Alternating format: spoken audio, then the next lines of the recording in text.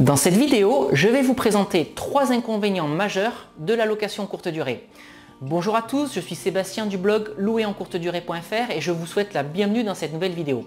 Alors vous le savez certainement, je fais de la location courte durée et tout au long des articles et des vidéos que j'ai déjà publiés, je n'arrête pas de vanter les avantages de ce mode d'exploitation. Mais aujourd'hui, j'ai décidé de voir les choses sous un angle différent et je vais vous présenter trois inconvénients majeurs de la location courte durée ou de la location saisonnière. Alors avant que je développe le contenu de cette vidéo, je vous rappelle que vous avez la possibilité de vous abonner gratuitement à ma chaîne YouTube en cliquant juste ici, de façon à être tenu informé en temps réel de la publication de mes nouvelles vidéos, dans lesquelles je partagerai avec vous des conseils, des astuces, des anecdotes et des retours d'expérience autour de l'immobilier et de la location courte durée.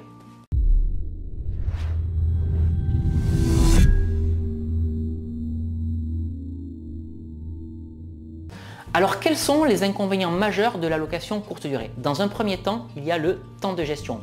Il ne faut pas se voiler la face, faire de la location courte durée, c'est avoir un temps de gestion bien plus important que celui d'une location traditionnelle dans laquelle vous allez avoir un locataire à l'année. Sur chacun de mes appartements, je constate que je reçois environ une centaine de clients ou de locataires euh, chaque année. Donc le parallèle est facile à faire avec une location traditionnelle, ça va forcément demander un temps de gestion plus important. Alors, quels sont les postes où vous allez passer du temps? Bah, Dans un premier temps, sur la rédaction des annonces. Alors, même si vous ne devez le faire qu'une fois, vous devez le faire sur une multitude de sites, c'est-à-dire sur tous les sites partenaires avec lesquels vous allez travailler. Airbnb, Booking, Morning Croissant, TripAdvisor, Abritel, Expedia, etc., etc. Mais vous allez également passer du temps à échanger avec vos clients parce que les clients vont vous demander des renseignements sur la location. Les clients vont vous demander des renseignements sur les équipements, sur ce qui est fourni ou non en tant que linge dans les appartements. Ils vont vous demander s'il y a une connexion Internet. Et ensuite, vous allez devoir échanger avec eux sur les horaires de départ et sur les horaires d'arrivée, ou plutôt dans l'autre sens, pardon, sur les horaires d'arrivée et sur les horaires de départ. Mais vous allez également passer du temps sur les check-in, c'est-à-dire sur la remise des clés. Vous allez également passer du temps sur les check-out, c'est-à-dire euh, sur la sortie des clients au moment où vous allez reprendre les clés. Et surtout, vous allez passer du temps sur le ménage, c'est-à-dire sur la repréparation des appartements entre deux clients ou entre deux rotations. C'est d'ailleurs ce temps de gestion qui est, euh, qui est le principal argument euh, des personnes qui sont contre ce mode d'exploitation, mais c'est aussi cet argument qui fait peur aux, euh, c'est ce temps de gestion pardon, qui fait peur aux personnes qui souhaitent se lancer dans la location courte durée. Alors je vais vous répondre très simplement. Jusqu'à notre troisième appartement en location saisonnière, avec ma compagne, nous avions deux travails à temps plein et deux enfants à charge. Alors ça demande un petit peu d'organisation à la maison et aussi avec les entrées-sorties des clients, mais c'est quelque chose qui est euh, faisable. Mais ce que je dis également systématiquement, c'est qu'il y a des multiples, de multiples façons de déléguer. Faire de la location courte durée ne demande aucune compétence. Il n'y a pas besoin de diplôme pour remettre les clés au client, pour reprendre les clés au client et pour faire le ménage. Vous pouvez déléguer à des femmes de ménage, à des sociétés de services à la personne ou à des sociétés de conciergerie qui se sont spécialisées dans la location courte durée. Donc surtout, n'ayez pas peur de vous lancer pour les mauvaises raisons. Le second inconvénient que je trouve à la location courte durée, ben, c'est le téléchargement illégal.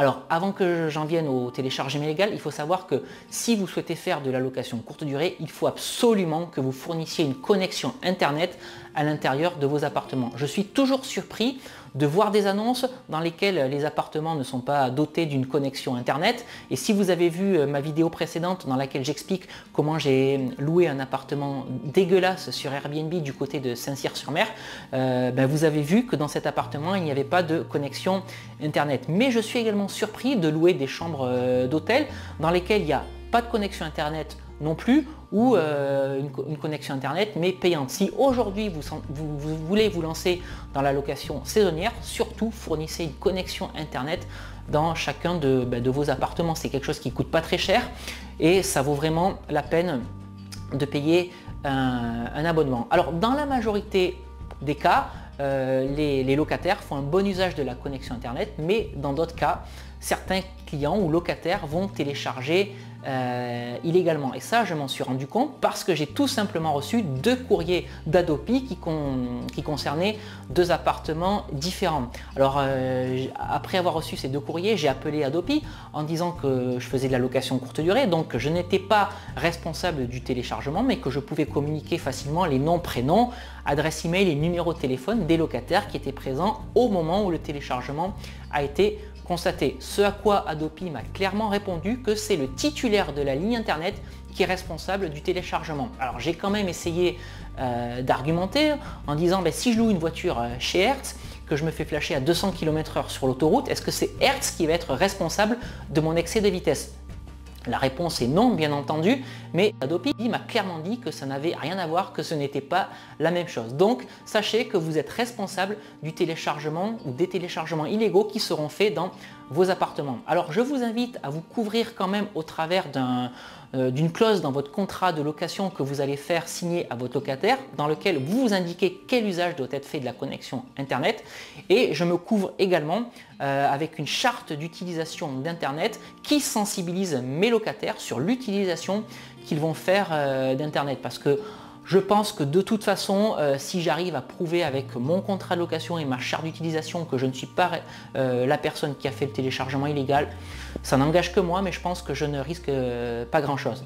Donc si vous souhaitez d'ailleurs trouver ce contrat de location ou cette charte euh, de sensibilisation à l'usage euh, d'Internet, ben, vous trouverez ça dans mon kit de démarrage de la location courte durée. Et enfin, le troisième inconvénient majeur de la location courte durée, ben, c'est le risque de cambriolage. Et ça, j'y pense régulièrement. Parce que ce qu'il faut savoir, c'est qu'une personne peut louer euh, votre appartement ou votre maison pour quelques jours, faire un double des clés et revenir quelques semaines ou quelques mois plus tard pour vous cambrioler. Et ça, c'est très facile à faire puisqu'elle a le calendrier de disponibilité de l'appartement qui est affiché sur toutes les plateformes Internet et en particulier sur la plateforme sur laquelle cette personne aura euh, réservé. Alors, ces cas, j'imagine, sont rares. En tout cas, moi, ça ne m'est jamais arrivé. Et puis, de toute façon, je pense que le risque, il est minime parce que dans les appartements, il y a très très peu de choses de, valeur. Il n'y a pas de bijoux, il n'y a pas de matériel euh, euh IFI de, haute qualité. Il n'y a pas non plus de tableaux de, de grands maîtres. Mais en tout cas, sachez que euh, ce risque est bien présent et que ce risque existe.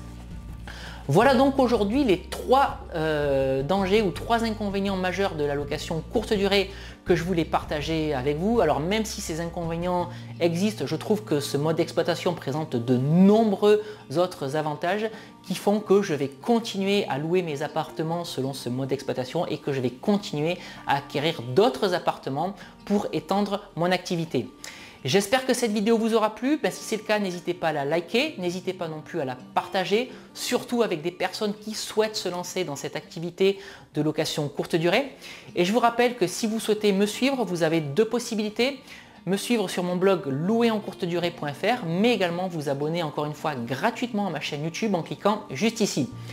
Je vous rappelle également, si vous ne l'avez pas déjà fait, que vous pouvez télécharger mes deux e-books en cliquant sur les deux vignettes qui apparaissent dans cette vidéo si vous vous trouvez dans un navigateur internet et si vous vous trouvez sur un appareil mobile, je vous mets les liens de téléchargement dans la description juste en dessous de cette vidéo ou sur le petit i qui apparaît en haut à droite de cette vidéo. Alors de quoi parlent ces deux e-books? Le premier s'appelle Convaincre la banque mode d'emploi euh, dans laquelle j'explique quelle attitude adopter pour convaincre la banque de la viabilité de votre projet d'investissement locatif et quels arguments mettre en avant pour convaincre la banque de vous financer.